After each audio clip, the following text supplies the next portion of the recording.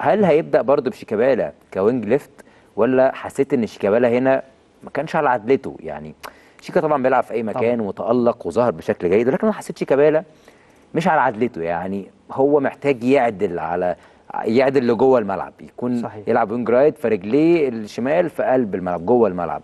هل ممكن يبدأ بعبد الله جمعة مثلا ك wing left ولا هيبدأ بنفس تشكيل اللقاء اللي فات؟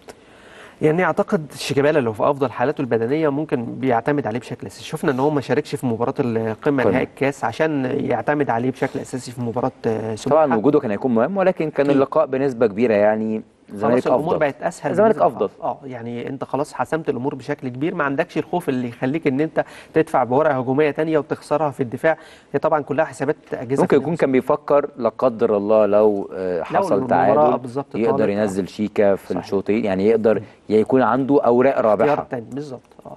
فأعتقد إن آه، بتفق معاك تماما في حتة إن شيكابالا على الشمال مش أفضل حاجة لشيكابالا يعني مش التوظيف المثالي بتاعه. لكن هو في النهاية أنا كمستر فريرا براهن على إن هو لعيب عنده حلول لعيب بيقدر يعمل ربط كويس جدا مع كل اللعيبة اللي حواليه.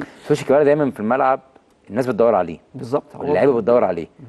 فهو حتى اللقاء اللي فات أنا في كورة أنا حسيت شيكا مش ع... يعني قطع الملعب بكورته الشهيرة ما كان بيلعب wing right كان بيقطع يرقص واحد التاني التالت وبيعدل بشماله جون. صحيح. هو في ال wing left لقى نفسه بيرقص بيرقص بيرقص ورجليه مش على الجون.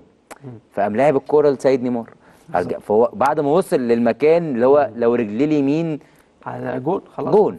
آه. فهو فعطل. فهل ممكن نشوف مثلا آه، تبديلة مكان شيكا يخلي شيكا في الشوط الثاني ولا ممكن نشوف زيزو wing left وشيكا يبدأ ك wing right في مكانه ولا يحافظ على الجبهة اليمنى بقوتها؟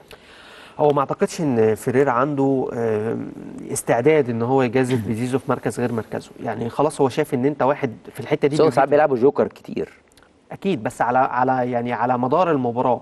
يعني ممكن يستفيد آه، بيه إن هو. يحركه. آه يعني م- آه، كمباغتة للخصم. بالظبط آه يعني أنت ممكن تنوع في الحلول الهجومية اللي عندك أثناء سير المباراة. مم. لكن الشكل اللي أنت بتبتدي بيه مهم جدا إن أنت خلاص أنت الاستراتيجي اللي أنت معتمد عليها اللي أنا هتوصلني آه واحد اتنين تلاتة إن أنا أقدر أسجل مثلا جون بدري يريح الدنيا. صح. فدي بتبقى حاجة مهمة بالنسبة لي.